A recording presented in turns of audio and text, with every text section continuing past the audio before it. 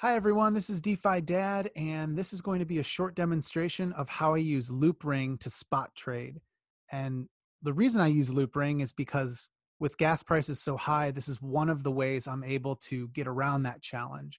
I pay a fraction of a cent on average uh, for the gas for uh, different trades on Loopring. So you'll notice uh, they've got all of the common assets that I would be trading on another exchange like Lend or Link and Ether and so on. Actually, they even have Ren Bitcoin now, uh, so you can get exposure to Bitcoin. And so as I'm using this, uh, you'll notice that I've got all the sort of familiar features of using a centralized exchange, uh, except in this case, it's powered by a decentralized exchange. So I've got Ether, I've got Tether, and if I'm going to buy some Ether, all I need to do is set what is my limit buy price. Currently, Ether is at 244.77, and uh, let's see, folks are selling it around 245. So I'll just put in 245 so this punches through immediately. I'll buy as much as possible and watch this. There we go. That was it the order has been submitted and the, the trade has gone through. So now if I go to orders and if I look at fill history, there it is.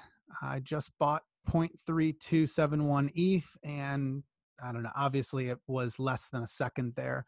And what did I pay? 0.000196626 ETH. So I'm paying 4.8 cents.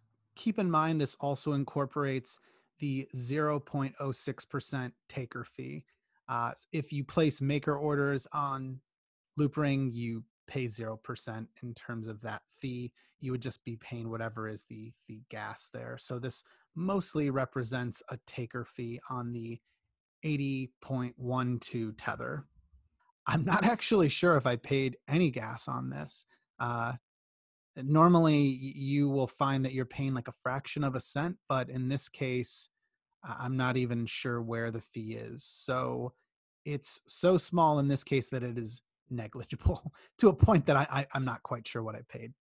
So that's it. If you're interested to try this go to loopring.io slash trade and when you get there uh, you just have to connect to your metamask account but when you do it it'll ask you if you have a code use DeFi Dad, D E F I D A D. There's no kickback or referral from me. It simply will save you money. Uh, it'll save you 40% on taker orders. Um, again, all of the kickback goes to you as a customer.